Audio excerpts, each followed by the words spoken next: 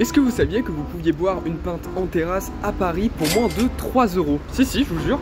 Bah regardez. Il y a déjà la brasserie NSC, 67 rue Didot dans le 14e arrondissement, qui propose un happy hour de 16h30 à 21h. On va ensuite à l'autre bout de la capitale, à l'instant, 17 rue Custine dans le 18e arrondissement de Paris, où la pinte est à 2,90€ et où l'happy hour commence à 16h et dure jusque 1h30 du matin.